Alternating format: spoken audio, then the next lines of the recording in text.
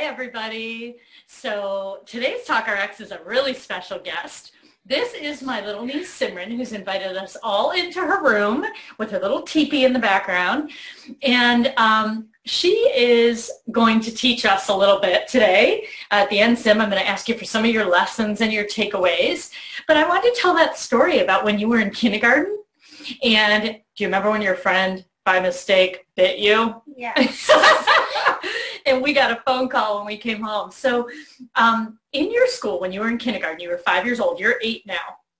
But when you were five, how did the teachers teach you to be quiet? What did they do? They would give me a symbol.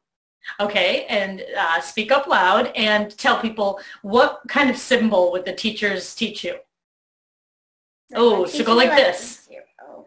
What is it? Zero. So zero noise. So when, when they put their hand up like this, it means zero noise.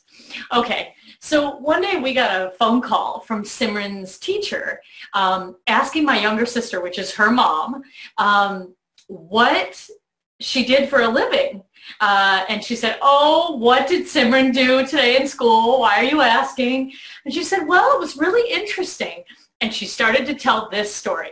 So Simran has a friend uh, in school who was telling her a story, and you can imagine that friend sitting in front of her, looking at her, so she can't see anyone behind her. And her teacher, Miss Babbage, is standing behind, um, standing behind, and her friend, Keisha, is telling her a story with her back to the teacher. And she's really excited, she's really excited, and so she's telling the story, and Simran's listening, she's listening, and all of a sudden Miss Babbage does what? Comes up and says. Behind her friend, she puts the zero noise. So Simran puts the zero noise up. But her friend's really excited. And she's telling the story, telling the story, and she wants to just finish it. She's in the middle of the story. And Simran takes her hand and does the zero noise right in her face, right? Like, oh. And when she does that, this little girl bites her hand. Oh my goodness. As soon as she bites her hand, Simran starts crying, the little girl starts crying, and she gets up and she runs out of the room, out of the classroom. Well, then her teacher comes running over to her and she says, Simran, Simran, are you okay? And Simran says, I don't know, I don't know. So the teacher has her move her hand and doesn't look like there's any blood or anything like that. So they just, her teacher says, well, Simran, it looks like you're okay. And Simran says, Miss Babbage, if Keisha's not okay, she's outside crying, you and me, we're not okay. So she takes her by the hand and she takes her outside where her friend is crying. And this little girl's having a full meltdown. And, uh, and so uh, the teacher says, hey, Keisha, Simran wants to talk to you. She wants to say something. And Keisha says, no, no, no, no. And do you remember what you said to her, Simran? Mm, I kind of do. Okay. I want you to share it. You want me to say it? Okay. Well, this is what the teacher told us. She said that you put your hand on her shoulder and you said, it's okay, Keisha. It sounds like you need to cry it out or yell it out. And when you're done, I want you to know that we're inside in there and I'll talk it out with you when you're ready. And she turned around and walked back in the room. And the teacher said she was absolutely stunned. And I'm so proud of you because you know that we're all connected, right? Like all of us in the world are all connected. And so when one of us isn't okay, then you're not okay, right? And so I love that in conflict you were willing to lean in and you were willing to be with the emotions and you were also willing to give Keisha some time to be with her emotions. Did you then uh, make friends with her again? Yeah. yeah. So tell me some lessons that you've learned um, about emotions or what's important. What's important? What are some lessons? Well, it's called empathy and it's Empathy.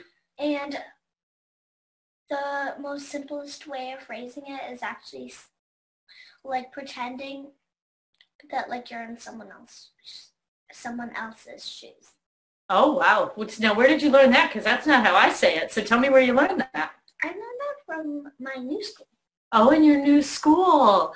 And so if there was one of the most important things you think that could help kids in communication uh, with each other besides empathy, what would it be? What do you think about Just emotions? Communicate with other people about their feelings and your feelings. So like really listen to them and Like be with, recognize their feelings. recognize their feelings and whatever they're feeling, it's true, right? And sometimes if someone's having a really strong feeling in the moment, you let them have it, right? You let them yell it out or cry it out. Sometimes do you have to do that? Sometimes. Yeah. Well, I'm really proud of you and I'm so glad. Do you remember some books when you were young that helped you that I used to read you? Happy and Oh, sad uh, and sad monster. yes. And butterflies in the stomach. and your butterflies in your tummy to help you with your anxiety. Um, Bye Bye Butterflies was the name of that uh, by Lilita. Um, I'm blanking. I think it's uh, Madison Lilita.